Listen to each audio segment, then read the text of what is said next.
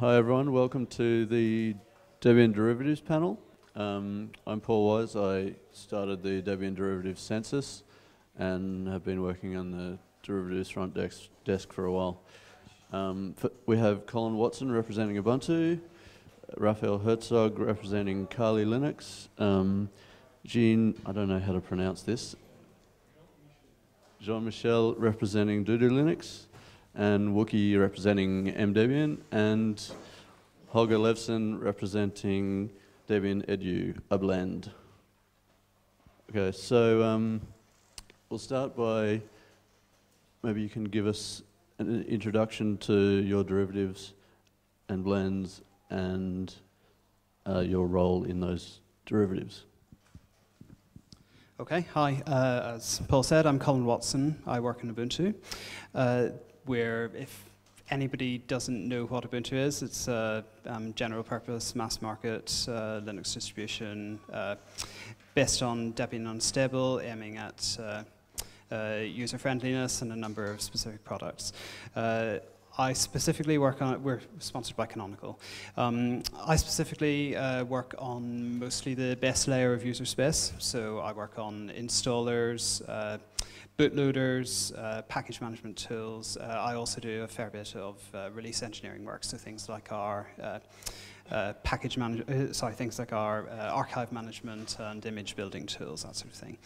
Um, uh, if you want to hear more about the latter part of that, uh, Steve Langasek and I are running a talk on uh, Thursday afternoon, which I think is entitled uh, Ubuntu Daily Quality Improvements, and we'll be going into more, a lot more depth on it there. I'm Raphael Hertzog. I'm working uh, part-time for Kali Linux, uh, which is a deri derivative dedicated to penetration testing with lots of security tools. it's Uh, baked by uh, Offensive Security, uh, a company which sells training on security training, and they use Kali Linux as a product to gather, uh, yeah, to give them a good image and to find uh, find customers and stuff like that. Uh, I'm we're really, really small, a few part-time people because well they do they work in the security field and they do also work uh, to package uh, the tools that they use. And uh, I'm mainly doing uh, all the infrastructure part uh, and everything related yes, to Debian installer and building the image and keeping up with the build daemons and stuff like that for them. I'm Jean-Michel Philippe. I'm uh, the founder of DoudouLinux. this is a computer system targeted at children from two. So we try to uh, make uh, a computer system as easy to use as uh, gaming consoles. Um, we are uh, currently in use in uh, several uh, nursery schools in France. And we have 43 language teams on Transifex. So it's quite used, quite used in around the world. Um, one of our uh, objectives is to stimulate uh, children fulfillment uh, using uh, digital technologies. We also want them to uh, master technology uh, for real. if you feel interested in this topic, I, I, will speak in a lightning talk on Saturday. and oh, that's, that's all. Uh, hi, I'm Wookey. Um, uh, again, we've had various Emdebian talks over the last 10 years, so hopefully most of you have worked out what it is by now.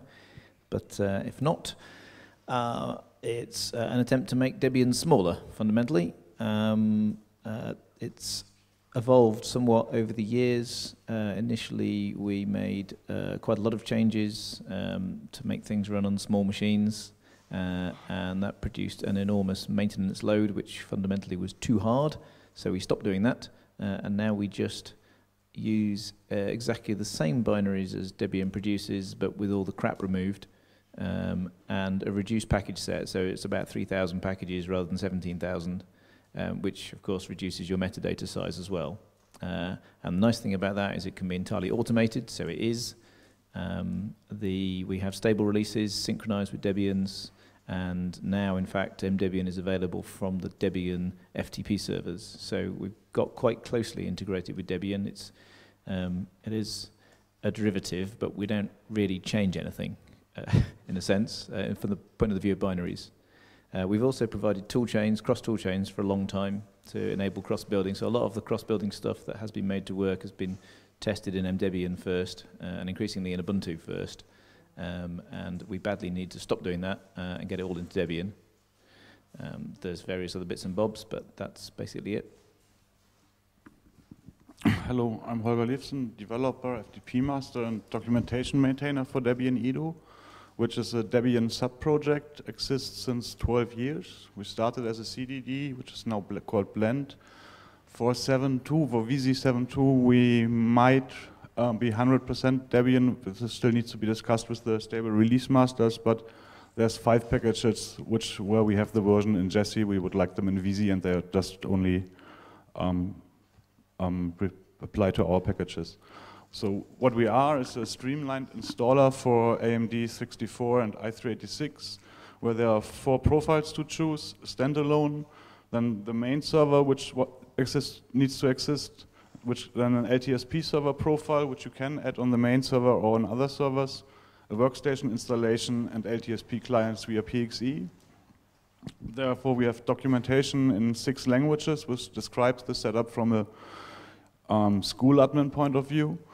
Um, it's a out-of-the-box configured for schools and universities, but really it can be used in offices or wherever, because basically it's just a um, out-of-the-box working setup with some education applications which you can just remove with apt-get, or you can add your own. So Debian Edu is basically a different kind of installer for networks setup.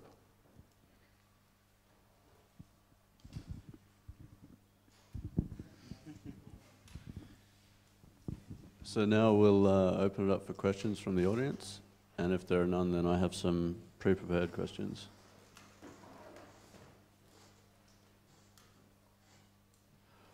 Okay, I'll start with one that I'm semi-interested in. Some of the derivatives have um, like pre-installed images. Um, could those of you who are creating such images, could you say something about how you do it and how we could integrate that into Debian? Uh, so you're you're talking about the sort of thing that you would uh, copy onto a, onto a system in OEM style. Um, yeah, we've been we've been doing this kind of thing since about uh, Ubuntu 5.10 or thereabouts. Um, although it took a while for any actual OEMs to pick it up after that.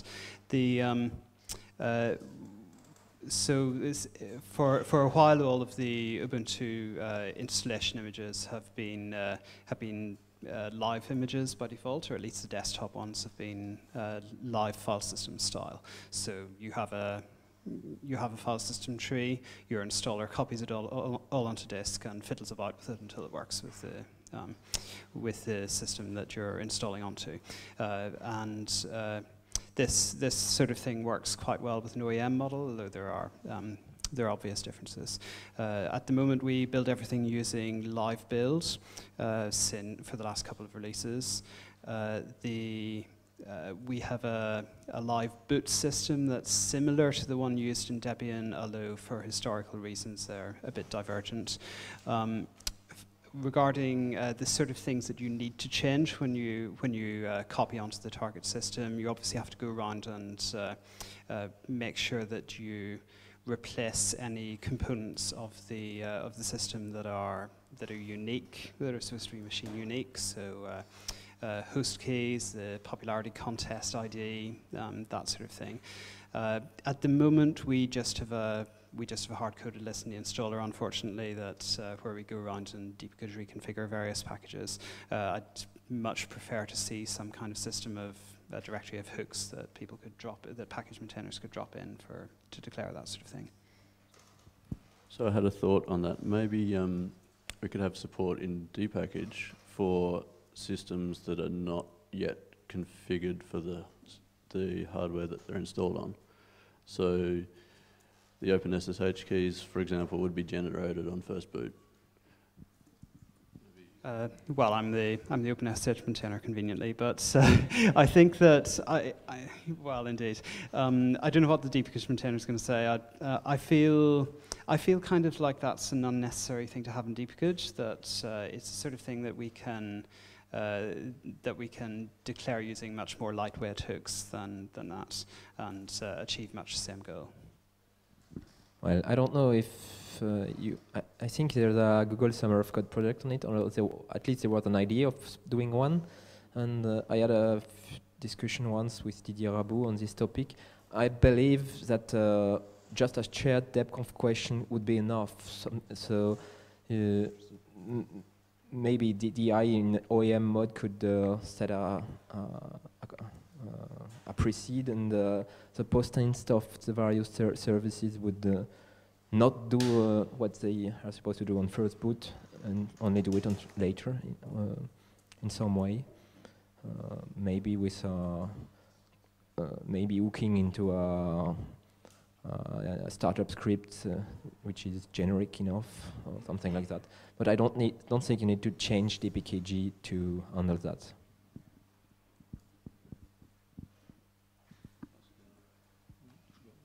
Uh, yeah. yeah. Uh, coming back to you, do you want other answer on the OEM question maybe or yeah uh, Kali doesn't have really OEM image uh, except well we provide live image so live build is doing all the fancy stuff for us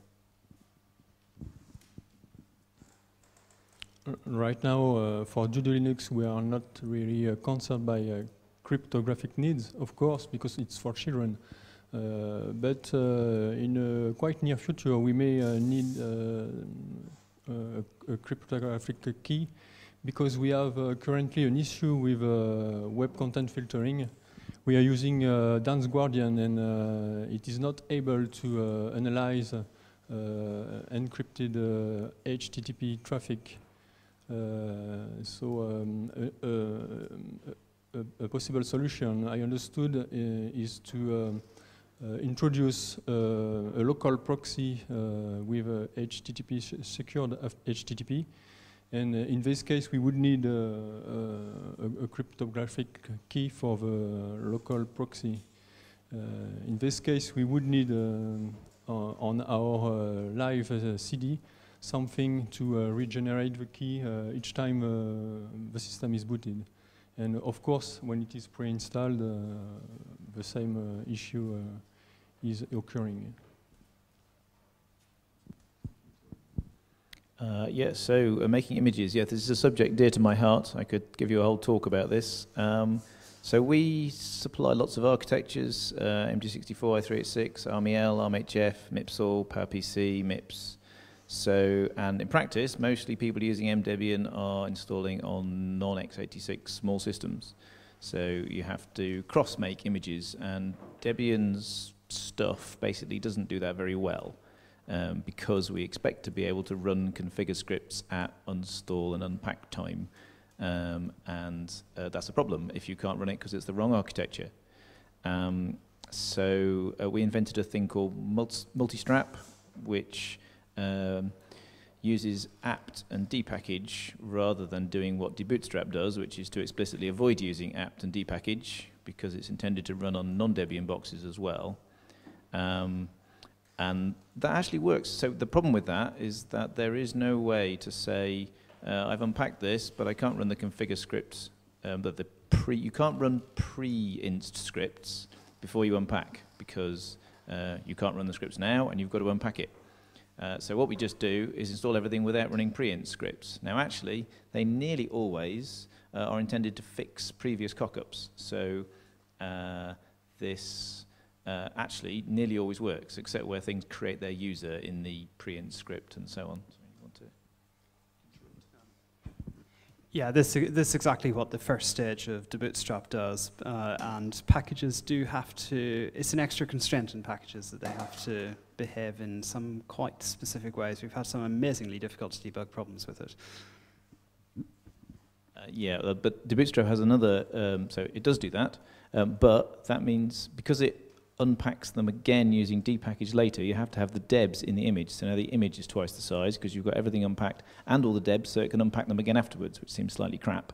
And Debootstrap can only take everything from one source, which uh, in the real world of embedded distros is a serious limitation because in practice, everybody always wants the stuff out of stable and some other packages out of their local repo, which might even be proprietary stuff. So one of the things, so an apt, of course, can take stuff from anywhere. So using apt to get whatever's needed to satisfy your dependencies is actually much nicer. But we always have this problem with the pre-inst scripts. Now, in practice, it works well enough. If you're making a specific image for a particular product, um, you just write some hacky scripts to do anything important in the in pre-inst scripts, um, which works. So I just did it for the ARM64 port because, um, so you can work around this by using QEMU, um, uh, except where you haven't got a QEMU because it's a new architecture. Um, so it's a useful tool, uh, but it does have its issues, as Colin says. There's weird things go wrong if you don't run your pre-inst scripts. Um, so yes, that's what we do. Uh, and that tool is already in Debian and has been for years. So if you want to use multistrap, you just apt get it, use it there. Um, yeah, Debian Edu mostly uses the Debian tool, so we build CDs with like with CD image. We have modified DI to ask these profile questions and also to have everything asked in the beginning, which I think now went back into DI. I'm not fully sure we lack the resource, that the people doing um, uh, building a live system, even though it would be trivial. So if somebody wants to help Debian Edu, building a live CD would be great for Wheezy. Um, and what we mostly need is packages which support configuration better, like um, with etc profile D, so that we can drop in our configuration without modifying the package and breaking upgrade paths. That's really what Debian Edu mostly needs, and this is from a few selected packages. So.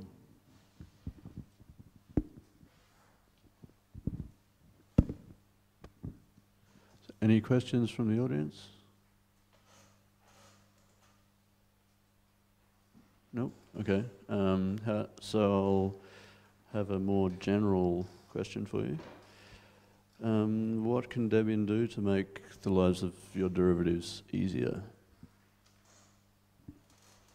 I get to go first again. Um, when when when Paul asked me this uh, before the uh, before the session, the, the first thing I thought of was plier patches. Uh, I've I've got about uh, something like 80 unapplied patches in the BTS that have been sitting there for ages from my work account. Um, but uh, and you know if you multiply it up by all the people working in Ubuntu, it's actually quite a lot. Uh, the, in, in general, uh, doing a good job at keeping your package building cleanly causes us to spend a lot less time uh, going around, you know, we, we make a change, we find that, oh, actually the package blows up due to this several package deep chain of something, and we end up we end up spinning wheels quite a lot and going around and uh, going back and fixing things that really ought to have just worked in Debian. Um, the vast majority of packages do build extraordinarily cleanly across uh, across a wide swathe of time, but uh, but we generally have uh, a few hundred build failures active at any one time, and uh, uh, keeping keeping your package building cleanly uh, makes makes a huge difference to derivatives who are trying to make changes that really have that are really incidental to that. Um, the uh, things like uh, cross-building and multi-arch improvements, these are projects that, as Wookey said, uh, we've been we've been working with in Debian and uh, other folks in, in Debian who are interested in those. Um, and uh, th those sorts of things make a make a huge difference to uh, some of the more exotic things that uh, that uh, derivatives sometimes have to do. And uh, there are sorts of things that require changes to many, many Debian packages across the board, uh, and uh, that is really helpful if, uh, if Debian developers can be proactive about enabling their own packages. Uh, for Kali Linux, I have, uh, well, we, we're based on stable for most packages for all the infrastructure but we tend to import uh, newer kernel and uh, well, and we patch it a little bit. But uh, kernel are ver very well maintained on the Debian side. Unfortunately, we don't have a DA release that goes with them always, and so. either we, we keep an older kernel or we have to patch DI ourselves uh, temporarily, or and it would be really great if Debian could have uh, more regular kernel and DI release combined. Uh, that would uh, make it easier for us. Otherwise, uh, I tend to agree with uh, with Colin. Of course, when we tend to submit patch, we, we like we like when it's integrated quite quickly. And well, we're lacking also really a team which is dedicated to security tools in Debian. There's a team uh, uh, around forensic tools, but not a generic maintenance team for security tools. And the, well, I guess we will try to create one because because uh, really we have a Kali has a lot of package to contribute, and uh, they are all team maintained by uh, two, two or three people on the Kali side, and uh, we really want to well share the load a bit with uh, Debian on this. So this is something that I'm going to work on in the next few months. For DoudouLinux, um, we have uh, our own uh, package repository with uh, tens of packages. Uh, most of them are uh, our own packages that we are uh, building to, to set up the environment DoudouLinux. But uh, we also have um, patch packages uh, from uh, the official Debian archive. We, we have um, upstream versions that are newer than the Debian archive. And uh, finally, we also have uh, some software uh, that is not available, available at all in Debian. so in the end, we have tens of packages, three releases, and four or five um, architectures. So this is a lot of packages to build. Uh, currently, we are uh, unfortunately doing this manually, uh, so this, uh, this takes a lot of time. This is uh, error prone. And uh, what we are dreaming of is something like the Ubuntu Launchpad, Uh, something that uh, anybody can use and uh, which would be based on the Debian infrastructure so that we get all our packages and our repos repositories built automatically uh, this would also help us uh, test uh, new architectures.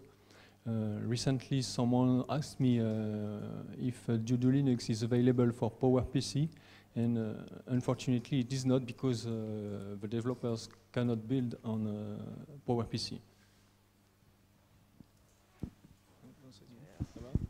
just jumping on this topic, uh, uh, I agree as well. Uh, there are many Debian infrastructures which are not really easy to use for derivatives. I mean, in Kali Linux, we opted to use rebuildd, we use reprepro, but so we are not, we are not using uh, buildd, uh, and we're not using dak. And uh, there are many parts uh, that really should be uh, better documented, more easy to use and to set up, because, uh, well, it doesn't make sense for us to, to have to discover every time uh, our or to build our own solution ba based on tools which are easier to use. So, so I, am fixing this for the package tracking system. Uh, I expect other people in Debian to fix it for other parts. So yeah, uh, Raphael just beat me to it. I was about to complain about the fact that it's really hard to make a buildd. Um, uh, everybody needs a buildd, even if you only maintain one package, you want to build over and over again. If you want to build a whole distro, uh, and the one part we make difficult to reproduce is that. The rest of it's great. RepRepro is brilliant. S SBuild's brilliant. Dpkg, build, everything tools. It's all great. Uh, but buildds are a problem. Um, there is a thing called PyBit, which is what Emdebian people ended up writing, which uses 0MQ and does building and cross-building and might well be something we should pick up and use. Rebuildd's okay, but it's a bit thick and a bit broken um, in various ways. Um, but yeah, uh, and Roger keeps threatening to make the buildd thing in SBuild actually work, um, but it's not quite finished, I think. Um, so anyway, that, that is a thing somebody needs to work on. It will be lovely. Um, other things, while I, before I forget what I was going to say. Um, so most of what we've wanted has gone into Debian, and generally we have no complaints over how that's gone. It's taken a long time, but some of it was difficult. You know, depackaged vendor and cross-building support and multi-arch support. Uh, I would say that the, again, accepting packages quickly is great. Sometimes a multi-arch patch takes a day. Some of them are still mouldering after a year and a half. Um, that's annoying. Uh, sometimes the freeze doesn't help. Um, that's always true. Um, yeah, that's mostly it. Somebody actually wanted to say something in the audience. We should probably let him.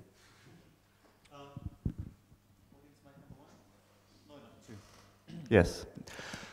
Didn't wasn't Paul Tag working on a build build system called debuild.me or something like that? I don't know much about it other than that it exists. And he's generally very excited about things, so I'm sure if you talk to him he'll pull Tag.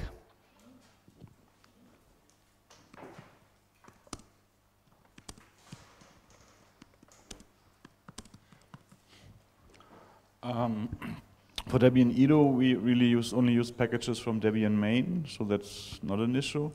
We do have, have our own archive, um, mostly for being able to test faster.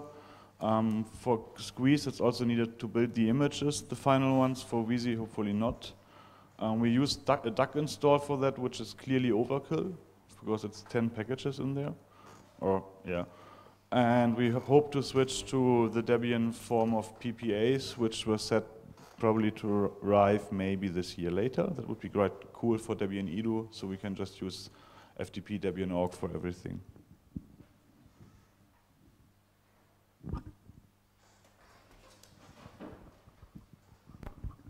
I could ask the opposite of that question. Um, is there one or two things achievable or maybe aspirational that you think your derivatives could do better by Debian for? Um, so the previous question was, what could Debian do for you? Are there some things that you could do for Debian, maybe that you're not doing now that you could do, or maybe things that are maybe more pipe dreams that you should do? Obviously, uh, we have lots of uh, packages that are not yet in Debian, so the first thing to do is to contribute them all to Debian. Uh, well, it's going to, so some, some of them are uh, mostly ready because they are quite clean, but some of them are really ugly because sometimes they want the software quickly and uh, I don't know if you have tried to package some security tools which use Ruby with lots of gems which are downloaded on a specific version and which is not the current one. And, and you have the opposite problem as well. Debian has sometimes quite older package. So uh, it's really a headache to, to package them properly for Debian. And uh, we have uh, quite a few packages which, are, which do bundle up multiple gems in it. And this is not going to...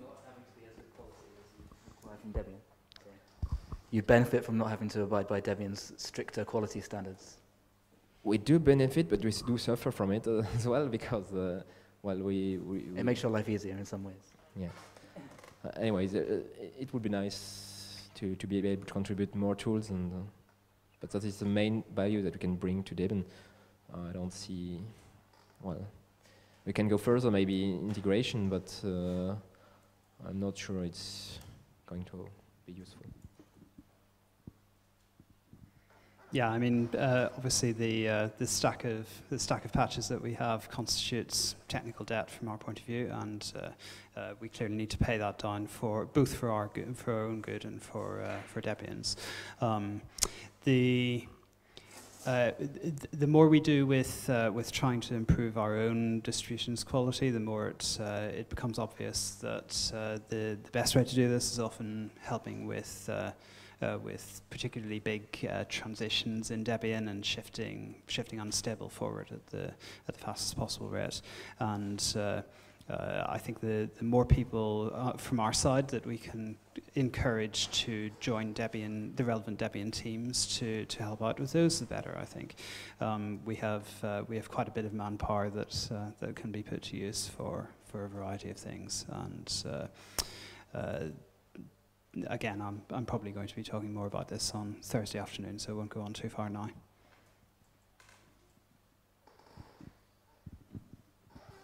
So yeah, and we worked out uh, probably about nine years ago that the easiest way to make our lives easier was to put stuff back upstream, and so basically all the cross-building and multi-arch stuff. Well, it's not been entirely driven by Emdebian, but that was part of it. And so that's actually been quite a significant contribution, and I think it's fair to say Ubuntu has helped a lot because, to be honest, a transition like that is easier to get done in Ubuntu than it is in Debian because you've only got to persuade a relatively small set of people with commit access to everything uh, rather than thousands of developers who go, what is this crazy talk?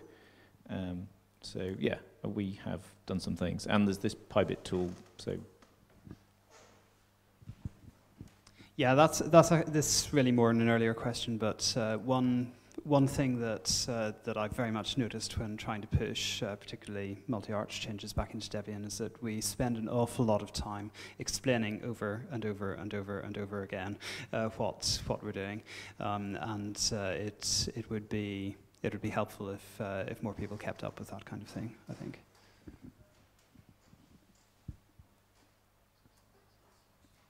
Um, it's not directly related to derivative, derivatives, but I would be interested uh, to hear your ideas, if you have ideas, how Debian could become more current to keep being stable, but also to have more uh, current software. And what would your advice be for Debian in this regard? Uh, we have an awful lot of places at the moment where we rely on uh, we rely on human effort to uh, to do a lot of our testing in Debian. Um, so the whole the whole process of migrating from unstable to testing is completely reliant on humans telling it, well, not completely, but it's very, it's very extensively reliant on humans telling us whether it worked or not. And uh, in order to make that work, in order to allow enough time for this whole process to operate, we have to artificially slow ourselves down to allow ourselves time for humans to give us feedback. Um, the the more that we can move towards uh, automated testing and responding quickly to you know, uh, promoting packages uh, quickly in response to those uh, to those automated tests, rather than having this very human-driven process, uh, the more I think we'd be able to move forward much more quickly and with many fewer uh, incredibly complicated tangles than we have at the moment. On Kali, we have a repository uh, named Bleeding Edge, and where we basically use our package, and uh, oh, well, we, we, we, we grab the latest upstream version, and when we detect one, and we put back the Debian directory from the former, and we try to build it and make it available to advanced users who want to look it up. And so this gives us early feedback of whether new versions are working or not without actually having to do lots of work. And uh, maybe Debian could uh, uh, have some similar infrastructure as well. It would help maintainers. And, and because quite often our problem is Debian is taking too long, right? Things tend to get down, but there are many maintainers who are not uh, in interested in doing it ri right away. They want their, the latest version and a good version for the next table but they don't care about the current version in, in unstable un until a few few days before the freeze. And that's the problem. Yeah, I'm not sure. I don't know how to fix this problem, um, but uh, you notice it particularly uh, wearing my Linaro hat instead of my Debian hat. Uh, you know, they're building the very latest everything all the time, and there's quite a big impedance mismatch with trying to get that stuff into Debian at all, you know, even running it on the system. Uh, so yeah, faster would be better, but I don't really have anything useful to say about, um, beyond what Colin said, about trying to automate things, because it's the only way to make things go faster, I think. Well, one thing, is, clearly the, the, main problem is on the release management, and it's a difficult issue. But uh, I, I, do believe that uh, uh, PPA could really help because we could have transition prepared in parallel. And instead of the release team having to say, so next one is this one, and we'll take the take it needs to, to go it through, we could have multiple transition prepared, and the first one which is released is going to be the next one, instead of uh, having a human to uh, only uh, some guesses from humans to decide. There's one potential problem there is that transitions get entangled with each other because of the dependency trees and stuff. It's it's not a it's not a silver bullet by any means. I entirely agree with Raphael. It would help. Um, one thing one thing we often notice in in Ubuntu, I've uh, uh, uh, driven several transitions there, um, which we've uh, you know, which we've started in our development release about the same time Debian does, often because we've just auto-synced something from unstable and then have to finish it. Uh, the, it's very noticeable uh, if when you're following this in Ubuntu that uh, there's a there's a handful of transitions that are managed exceptionally well. The uh, the Perl transitions are, are wonderful. We uh, uh, we, we generally find that the vast majority has been pre-prepared by the Perl team, and there's absolutely no problem. Um, there are there are various other transitions where we find that. Uh, there are a couple where I've found that I basically had to do all the work uh, because the if somebody had started in Debian and hadn't hadn't really hadn't properly tried to build everything that was going to need to be rebuilt, um, and uh, preparing this sort of thing in a PPA, uh, in a PPA, you would still have to you'd still have to effectively redo the work in unstable. You'd ha you'd have to rebuild everything, uh, because partly because of this entanglement problem, but you might at least have some chance of ensuring that people have built everything before they start, which is not currently the case.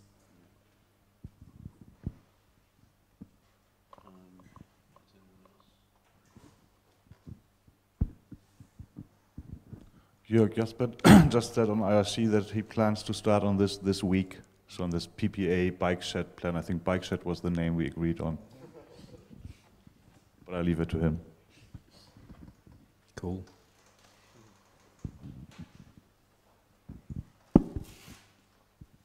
So, um, similar question. So, is the release cycle working for you?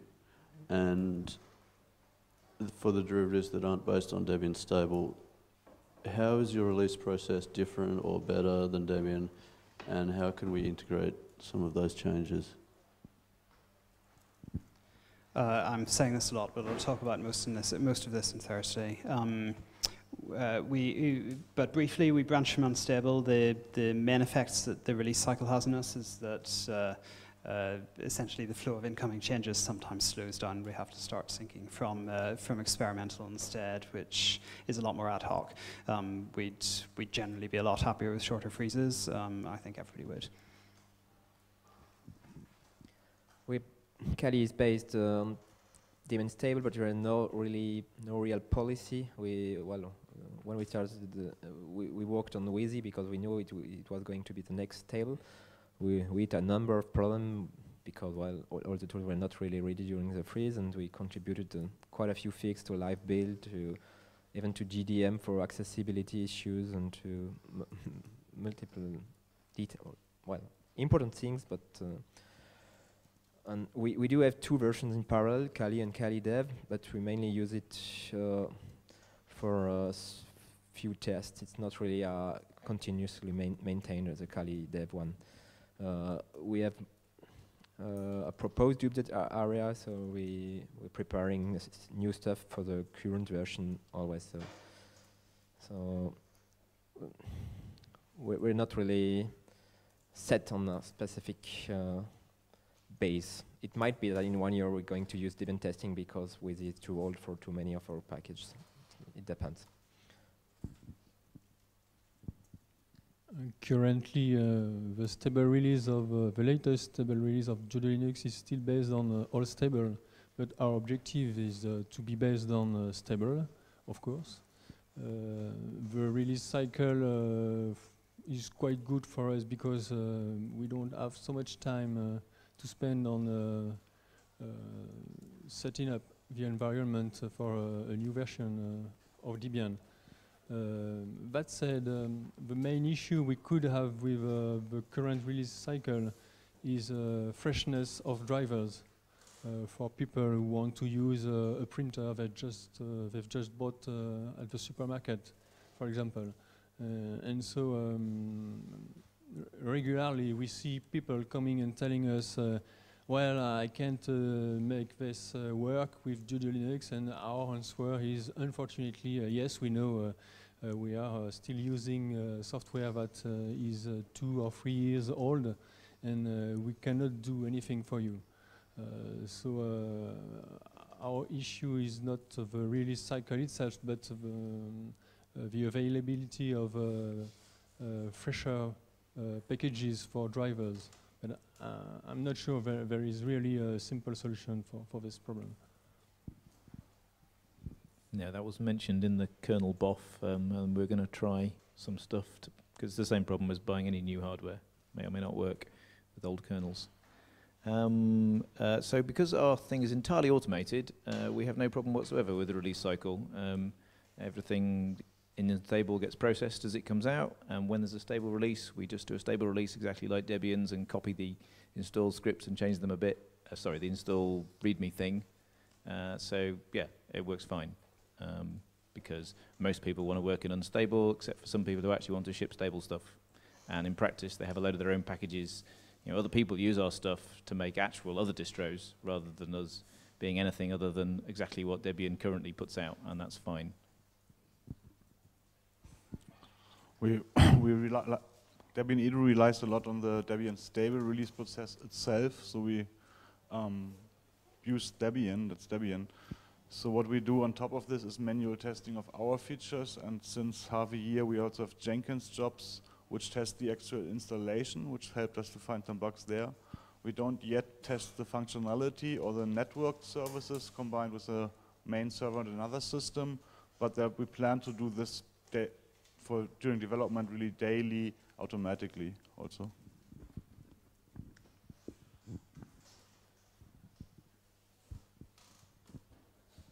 So we have two minutes left. Um, is there anything any you, any of the panelists want to say about Debian or your derivative or something else?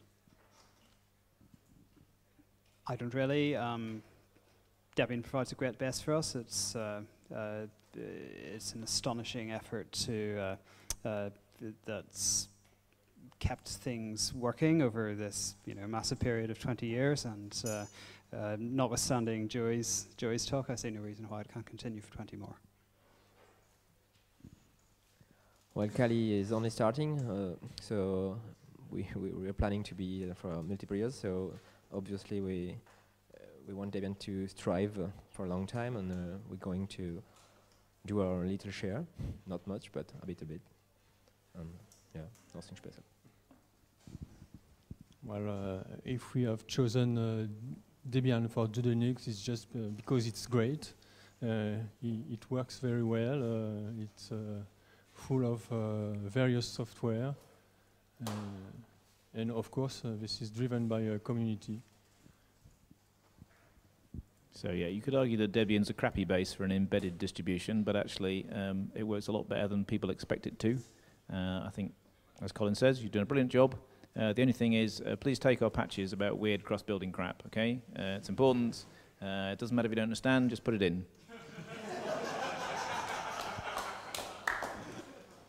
um, Debian Edu is really happy Debian user. Um, stable user, so thank you for your support, supporting your packages in stable and also for providing stable backports. That's very useful. Thank you.